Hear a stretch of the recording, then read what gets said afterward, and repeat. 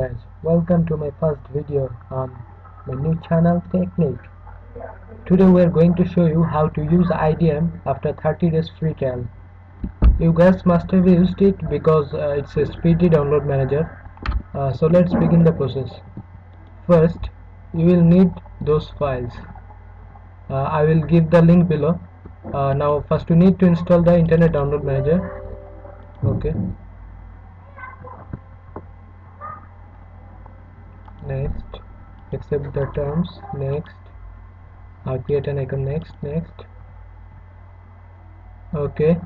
The download is finished. So now the main process begins.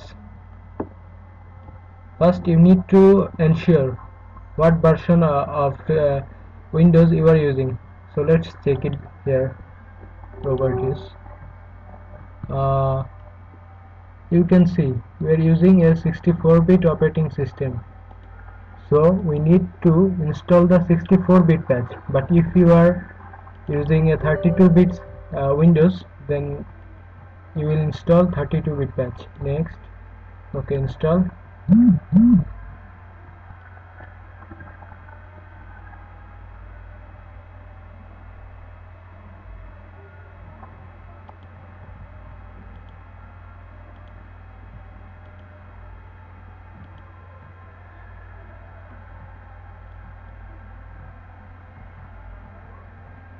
okay as you can see uh, the patch is installed.